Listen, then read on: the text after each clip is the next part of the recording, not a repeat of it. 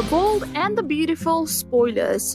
Paris fights alongside Thomas, promises to mother Douglas.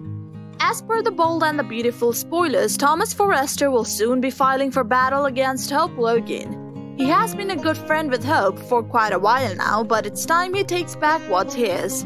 Thomas will believe that he should take his son back home with him and shower Douglas Forrester with some fatherly love.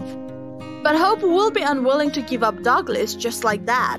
As you guys know that Thomas hasn't been the best father to Douglas over the years, and so Hope may try to use it against him.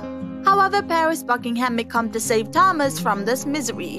The soap series has a long overdue love interest for Thomas. And as much as we want a new woman in his life, I think all we're getting is Paris once again.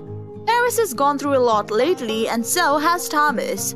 So she may kind of understand the pain Thomas is going through and decide that she will marry him or at least have a fake marriage to get him his son back.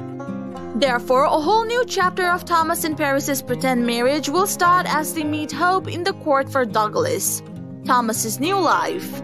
Getting a house of his own and staying in a committed relationship will be the first step, where Thomas tries to fix his life. As for Paris, she just had a huge heartbreak and she never thinks straight. Who knows, all this fake marriage drama might turn into a real one before the deal is done.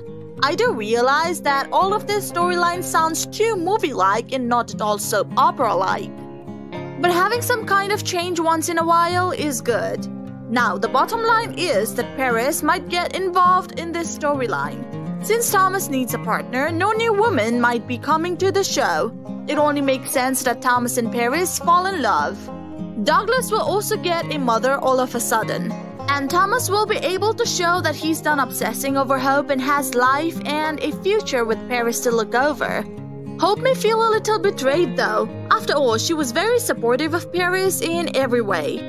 But Paris decided to take her adoptive son away from her. Let us know what you think down in the comments section. Thank you for watching the video. If you enjoyed the video, make sure to check some of our other videos. And we hope to see you again in the next video.